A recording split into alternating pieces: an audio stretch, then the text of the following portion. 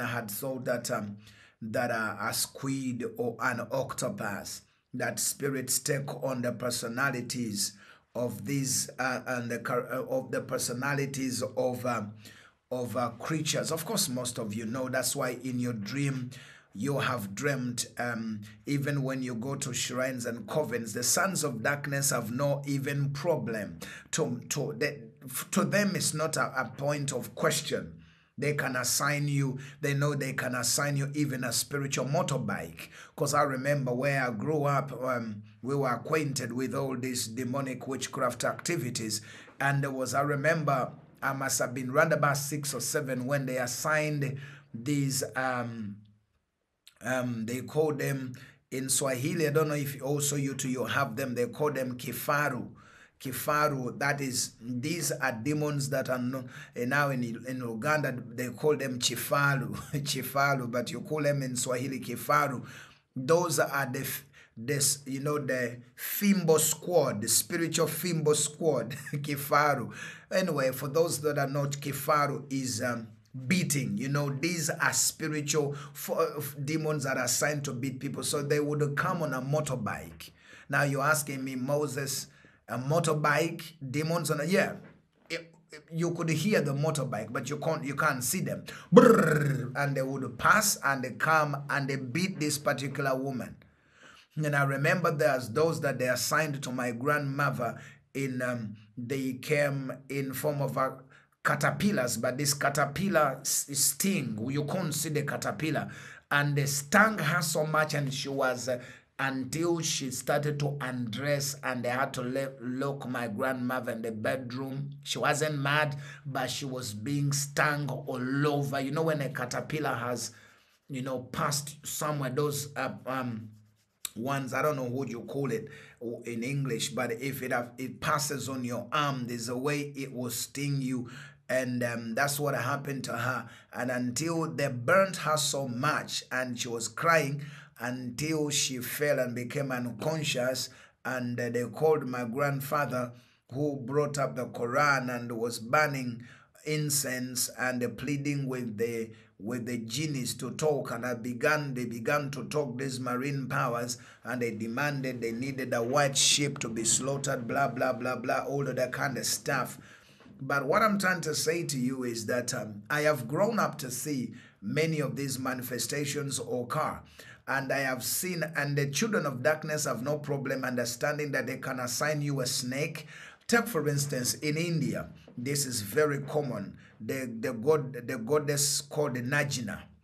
Nagina is this, you see everywhere you go, you see that cobra uh, serpent. You see it on their altars, even when the when uh, Krishna is um, folding her arms or Buddha seated and you find you will find where Nagina as well. Now Nagina, that's the serpent, the, the, the black cobra, the Nagina spirit that they can assign you a snake to come and finish. You can be here in England and they assign it from from India and it will come for you to just manifest in their house and you see a snake coming, bite somebody, disappears, dies I mean, the person dies and that's it. So the sons of darkness have no problem and as understanding that spirits can take on the personalities of creatures, animals, or sometimes they can even use impersonify, impersonifying spirits. You remember that the one that necromancer called the spirit of a, a dead prophet Samuel. So this impersonating spirit, some of you have had your parents gone and dead, long gone and dead, but they are manifesting. Even some of you, a grandmother you never saw before. She, you, you, you, by the time you were born, she was dead or great grandmother, but she manifests and comes and talks to you exactly. And when they show you the picture of how she was, exactly that's how she is. And you've never met her, you've never seen her in anywhere in the picture. So these things are not a problem to the sons of darkness to believe and to understand how these things function or happen. Do you see what I'm saying? But only this kind of uh, um, uh, ignorance occurs unfortunately uh, surprisingly to uh, in the in the children of the kingdom where we shouldn't be actually um, unaware of the things. Now that being said um, most of you have dreamt when actually cows and in where i come from i have people here from my country that um, can verify what i'm telling you. They there's what they call a mayembe. Mayembe like is like spirits that are signed witchcraft spirits that are signed but a mayembe if you translate it from directly from english i mean direct translation from my language would be a mayembe is like horns but when you talk about horns, the horns of a cow.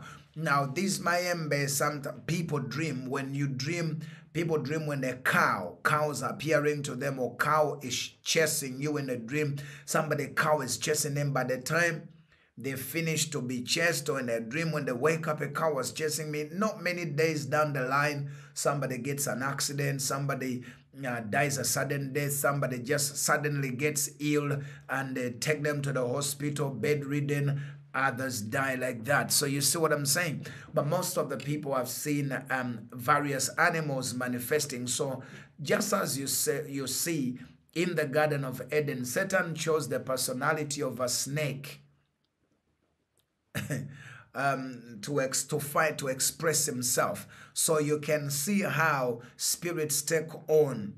It can come in form of a. You, remember when Jesus was casting out the mind binding and con mind controlling spirits that have have a form of a squid and an octopus. These spirits have. Um, uh, like I said to you yesterday, they have tentacles. So they have tentacles that um that um that wrap around the mind. Okay, they have tentacles um that wrap around the mind. And like I said to us um um yesterday, the their their assignment is to hinder uh, people from thinking clearly and these spirits cause much confusion and um, and also besides causing confusion they keep people from seeing the truth. They, their assignment is to ensure that people don't see the truth but also these are also powerful spirits that often require fasting to break like i said yesterday. Now i've uh, like i say i'm, I'm giving you spirits that represent that represented by the sea by the sea creatures. That's what i'm talking about now, other spirits that are represented by the sea creatures are spirits of lust.